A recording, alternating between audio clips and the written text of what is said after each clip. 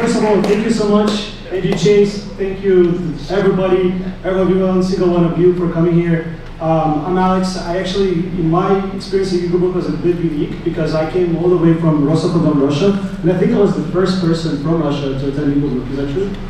Something like that. Something anyway, yeah, yeah, yeah. I gotta think about it. but um, as a 13-year-old coming to a country where people speak a completely different language, have a completely different culture, have a very different set of expectations, this is like how my life and journey began in the United States. And you know, I could learn how to speak English in Russia. I could learn how to do math. I could learn how to do equations. But on this campus, I got to meet Henry Kravis, who was dedicating a dorm. And I think in this campus, I met Jae Choi, who at 13 years old was so eloquent, and he came from South Korea, and so mature for his age that I literally saw like maybe the future president of his country in his eyes at that age. So this place, I think, was very special to me because it taught me how to dream, he taught me how to believe, taught me how to lead, and most importantly, he taught me where my heart is, you know, where my passion is, and the things that I can do. And I think a lot of people in this world, they know the word vision, but they don't see. They know the word passion, but they don't feel it. They know the word integrity, but they don't live by it.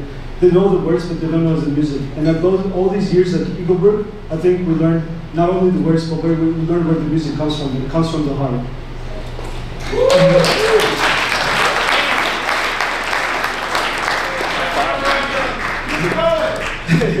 I'm just getting started, with it.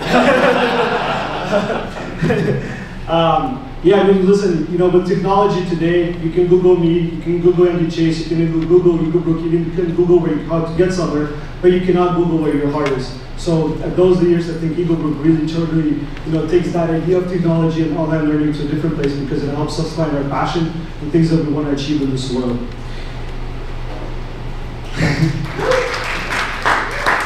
And um, I guess the last thing I want to say, you know, uh, there are two types of people in this world. Word, uh, world. Uh, there's the people that are ready, set people, and there's ready, set, go people. Um, the ready, set people, they go out, they ponder, analyze, but they never jump. Ready, set, go people, they go out and make a difference. For all those years at Eaglebrook when we were here, at every single sports convention, every time we played in sports, but everything we did, we said, let's go Brookies, let's go Eaglebrook. So let me hear. Let's go Eaglebrook. Eaglebrook. One more time. Let's go, Eaglebrook!